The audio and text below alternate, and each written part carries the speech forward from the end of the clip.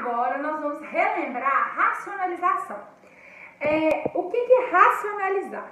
Racionalizar é tirar a raiz do denominador. Virou uma convenção matemática é, não deixar a raiz no denominador. Isso acontecia muito é, por aproximação. Por exemplo, 1 dividido por raiz de 5. Se você considera raiz de 5 2, 1 dividido por 2 dá 0,5. 1 dividido por... Aí você considera a raiz de 5, 2,1. E aí vai fazendo a aproximação. Toda vez que você for fazer a divisão, você tem que fazer toda a conta novamente. Então eles acharam mais esperto colocar a raiz em cima, para se você tiver que fazer uma aproximação, você não ter que desmanchar a conta toda para fazer de novo. Então, era um método para diminuir conta em relação a aproximações. E um meio de padronizar todas as respostas. Para cada pessoa não dar uma resposta diferente para o mesmo problema, vamos combinar? Vamos deixar sempre a raiz no numerador? Então, foi esse o combinado. É tipo simplificação. A gente não combina sempre de simplificar? É, quer dizer que está errado, gente? Não, é só feio, tá? Mas é uma ferramenta que a gente vai precisar.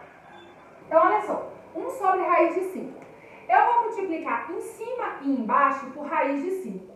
Por que dessa estratégia? Raiz de 5 dividido por raiz de 5 vale quanto? Vale 1. Se você pega um número e multiplica por 1, altera alguma coisa? Não altera nada. Então, qualquer número que você quiser, o 1 é o elemento neutro da multiplicação. Então, qualquer número que você pega, qualquer número que você quiser multiplicar por 1, você não vai alterar nada nele. Então, aqui, ó, quando eu multiplicar esse por esse, vai dar raiz de 5. 1 vezes raiz de 5, raiz de 5. Aqui vai dar raiz de 5 ao quadrado. Essa raiz é raiz quadrada. Raiz de 5 ao quadrado é como se eu pudesse cortar. Lembrando que esse cortar é muito complicado. É, nesse aqui tá fácil, né? Esse elimina esse, corta, fica raiz de 5 sobre 5. Mas eu quero chamar atenção porque o cortar, quando a gente fala assim, gera alguns erros de interpretação. Por exemplo, raiz de menos 5 ao quadrado.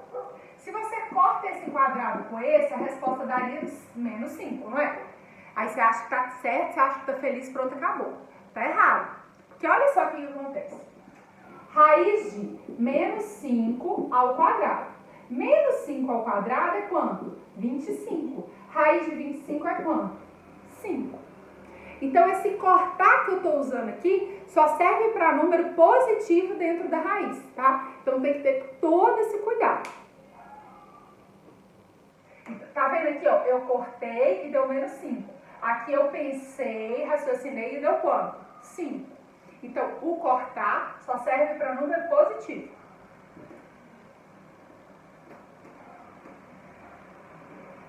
Então, vamos lá. Aqui é a mesma coisa. Eu quero tirar essa raiz de baixo, então vou multiplicar em cima e embaixo por raiz de 2. Aí aqui vai dar 6 raiz de 2, e aqui vai dar raiz de 2 ao quadrado, e esse quadrado corta com essa raiz quadrada. Esse 2 eu ainda posso eliminar esse 6 aqui, ó. Aqui dá 3. Então, essa resposta aqui é 3 raiz de 2. Aqui, ó, mesma coisa. Vou multiplicar em cima e embaixo por 7, raiz de 7. Aí aqui vai dar 5 raiz de 7. E aqui embaixo, se você quiser já escrever direto, raiz de 7 vezes raiz de 7 dá quanto? 7. Ok?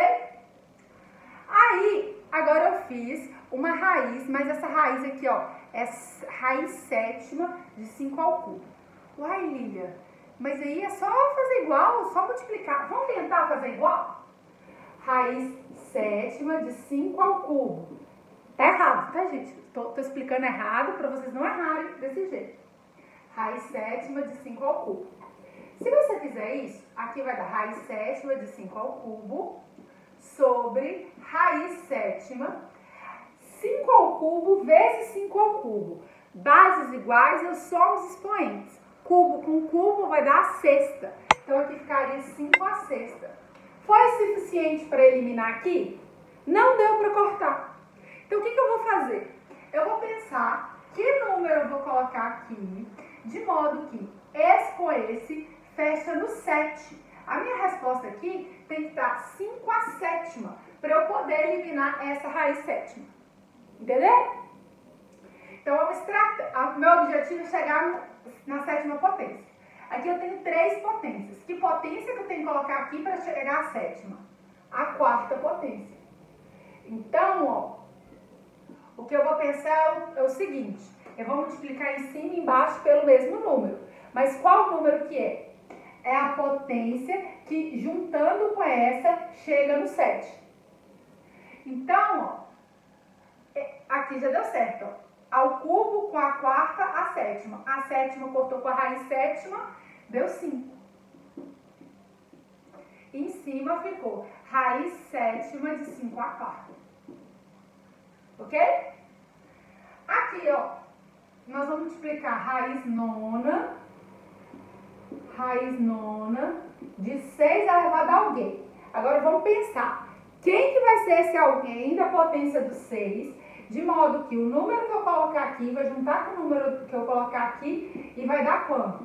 Raiz nona de 6 a nona. Então, do 4 com o número que eu quero colocar aqui tem que dar 9. Então, o número que eu vou colocar aqui é quanto? 5. Por quê? 4 mais 5, 9. Então, aqui, ó, eu tenho que garantir que o de cima seja igualzinho de baixo. E agora, ó, vai dar 3 raiz nona de 6 aqui. E esse elimina esse e dá. Esse eliminou esse, ficou 6, não ficou? Aí o 6 pode eliminar o 3 ainda. Aí ficou raiz nona de 6 a quinta sobre 2. Por quê? O 3 corta com 6 dá 2. Ok? Mais uma. Eu vou multiplicar em cima e embaixo por raiz úzima. Raiz décima primeira, pior. Raiz 11 de 3 elevado ao alguém. Aí eu vou pensar no alguém que eu vou colocar nessa potência.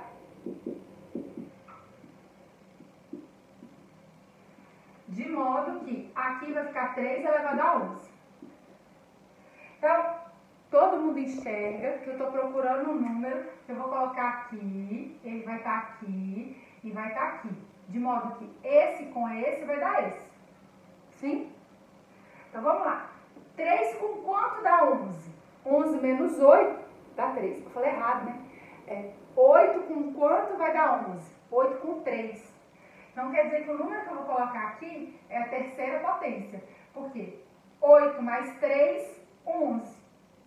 Aí aqui eu tenho que colocar a mesma potência e esse com esse aqui da, ter, da terceira potência. E agora esse elimina esse.